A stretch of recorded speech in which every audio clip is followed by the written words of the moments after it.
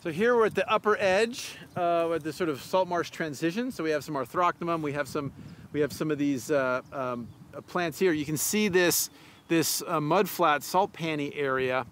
Um, is uh, the, the ground looks a little bit, a little kind of tufty, a li little soft, a little dusty. Um, and that's because we have some subsurface action, some, some invertebrates down there uh, doing their due. Um, and as you look up this way, you can see that we, we really transitioned quite rapidly from salt marsh plain, mud flat, this sort of edge salt marsh vegetation, and then on into more of the terrestrial plain. Before we get really high up, we have this sort of intermediary invasive grass dominated area. So this is not ideal. We'd like to not have, not have all this stuff.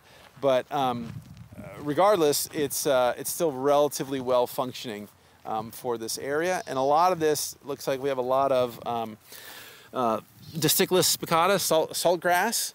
Um, and so uh, this is cool. This is, this is a great restoration for um, uh, 20 years on. It, it, it, there's still more to do. We can always improve stuff, but it looks like it's, it's worked well, at least what we've done so far.